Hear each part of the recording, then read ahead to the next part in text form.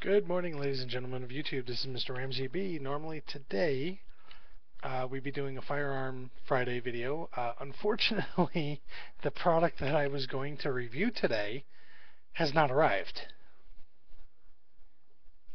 So this week's Firearm Friday is going to be canceled. Um, hopefully, there there's some shipping mess up, probably because of the weather or whatnot. But um, we're, we're hopefully it'll be here for next week, and if it's not, then I'll just review maybe my EDC or something. I don't know. We'll figure it out when the time gets to it. Thank you for watching. Have a good day.